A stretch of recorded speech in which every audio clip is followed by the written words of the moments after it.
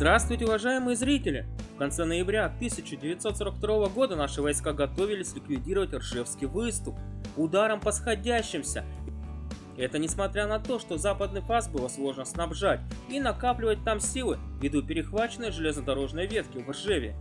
Тем не менее, не совсем удачное летнее наступление только с восточного фаса требовало иных решений, которые были заложены в операции «Марс». Третий мехкорпус, о котором пойдет речь под командованием Катукова, состоял из пяти бригад. Это 1, 2, 10 и 1 гвардейская механизированные и 49-я танковая.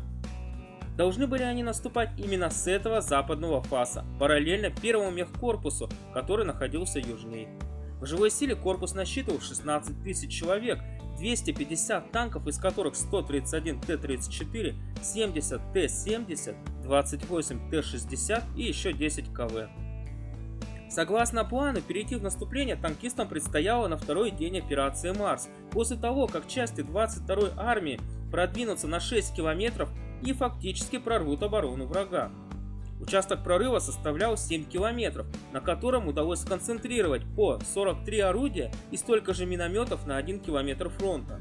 Вот только погода подвела. Сильный снег не позволил корректировать огонь артиллерии, били по площадям, а низкая облачность до кучи лишила поддержки авиации.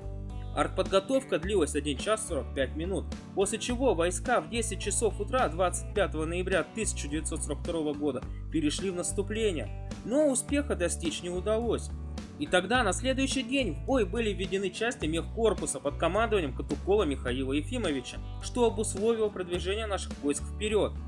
Обойдя опорный пункт врага, Старостель танкисты устремились вперед, обогнав пехоту, которая зачистит эту деревню от противника на следующий день. Далее, к вечеру этого дня, красноармейцы берут штурмом Михеева и Савина, также опорные пункты фашистов. Причем первый населенный пункт был охвачен, отступающие из него немцы попали под перекрестный огонь и были рассеяны. Как итог, фронт начал проламываться. И заслуга в этом была на танкистах Катукова, хотя они должны были идти в прорыв, а не обустраивать его. Далее, наступая вдоль реки Лучеса, части 1 10 механизированной бригады и 49-й танковой овладели Шепотово и Софийская.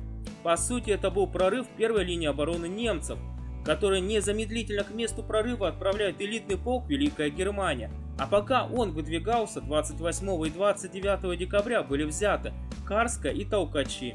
Дальше, двигаясь вперед, части третьего мехкорпуса наткнулись на заминированные овраги, через которые навели переправы, по которым наши войска проследовали к реке Лучеса, углубившись на 7 километров в оборону противника.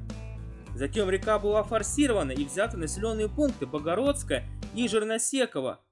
До дороги Оленева-Белой, которая была единственной ниткой снабжения врага, оставалось 3 километра. Оседлая ее наши войска, и оборона бы в этом секторе рухнула. Понимал это и командующий 9-й армией Модуль, который отправил к месту боев свежие силы. Как итог, корпус, имеющий на переднем крае около полусотни танков и тысячи пехоты, перешел к обороне. Наступили тяжелые позиционные бои. Да, враг мог двигаться по шоссе только ночью, оно было под огнем нашим орудий. Тем не менее, немцы сохранили коммуникации. А Катукову буквально не хватило одного батальона – который мог перехватить это шоссе и обвалить данный сектор обороны врага. Но не срослось, и в ночь на 8 декабря 1942 года корпус Катукова отвели в тыл. Его потери составили 1200 человек безвозвратными и 77 танков уничтоженными.